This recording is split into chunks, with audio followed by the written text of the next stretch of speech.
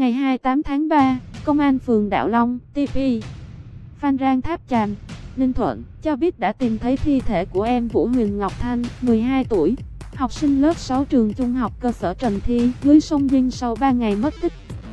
Trước đó, ngày 26 tháng 3, chị Huyền Thiện Ngọc Trâm, 38 tuổi, mẹ của em Ngọc Thanh, đã đến cơ quan chức năng trình báo về việc con trai mình mất tích. Đến 9 giờ ngày 28 tháng 3, người dân phát hiện thi thể Thanh ở ven sông Vinh thuộc địa phận TP Phan Rang Tháp Chàm nên trình báo lên cơ quan công an địa phương. Lễ mai táng em Ngọc Thanh tại nhà riêng. Cơ quan cảnh sát điều tra công an tỉnh Ninh Thuận đã trưng cầu giám định tử thi, tiến hành khám nghiệm hiện trường, điều tra nguyên nhân tử vong. Tuy nhiên, gia đình nạn nhân từ chối giải phẫu tử thi, cam kết không khiếu nại và đưa thi thể Thanh về nhà lo hậu sự. Theo chị Trâm chia sẻ, sáng ngày 26 tháng 3, Thanh đi ăn sáng rồi sau đó không trở về. Sau khi phát hiện Thanh tử vong, gia đình tìm thấy một lá thư tuyệt mệnh do em để lại dưới máy vi tính.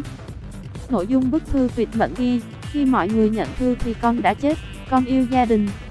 Ngoài ra, Thanh còn viết tên bốn bạn cùng lớp mà em rất hận.